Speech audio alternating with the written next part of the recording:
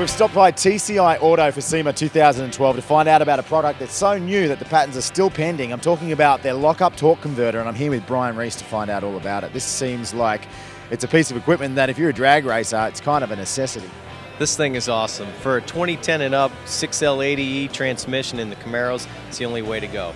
245 high stall converter, triple disc lockup, bolt together, billet converter and the thing actually works. You can plug it in and go. You don't have to custom tune it. You don't have to disable lockup. And that's been the problem.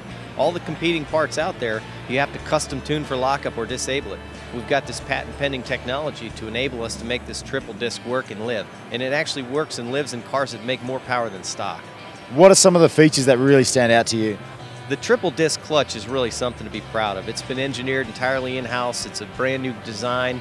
It's uh, patent pending technology, and like I said, the design requirement was so that the converter could be could be bolted in and actually work. Is it going to require a lot of shop time to get this thing in and running? No, that's the beauty of it because since you can bolt it in and go, you don't have to get it custom tuned. You don't have to use the disable the lockup. It's a it's a typical installation of a converter. Pretty easy. Who's going to benefit the most from this kind of technology?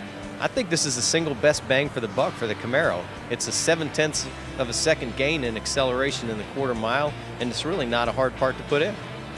You mentioned this is a bolt together. What does that mean? The bolt together really does a couple of things. First of all, the way we designed it, anybody can take it apart and bolt it back together. No special tools required. But it'll let you take it apart, you can clean it, you can put new clutches in it. But the most important thing is you can change the pump, the stator, the turbine, you can change the stall of this thing. The guy can do that himself really easy. There are other torque converters on the market. Why does this one stand out head and shoulders above the rest? It really covers everything. It's bolt together, it's billet, it's uh, got a triple disc lockup, all in a, in a, package meant for the street. It's a good value part and the thing works. Excellent. Thanks, Brian. You mentioned seven tenths of a second, is that seven right? Seven tenths of a second. There you go. Who, who's going to argue with that? If you want to find out more about it, head to tciauto.com. All the information is available online.